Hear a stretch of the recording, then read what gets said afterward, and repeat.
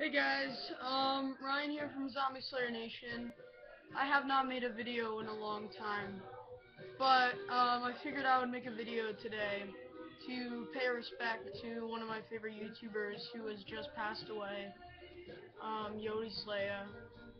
Um, I don't know if any of you know who he is, but if you follow gaming like I do, he was a Zombies and Borderlands commentator, and I spent a lot of my time um, watching him, and it really makes me sad that he is gone.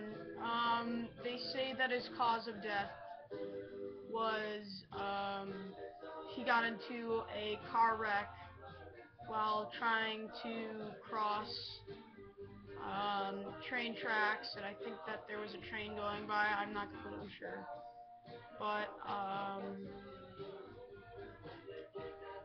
really sad.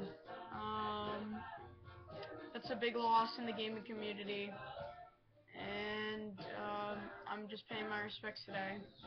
Uh, thanks everybody for watching. Um, I would like to announce that November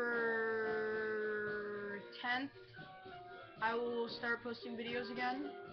Um, I have been on a terrible schedule because of marching band.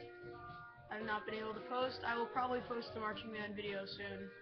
Um, of maybe warm-ups or something, but, um, anyway, thanks for watching. See you guys.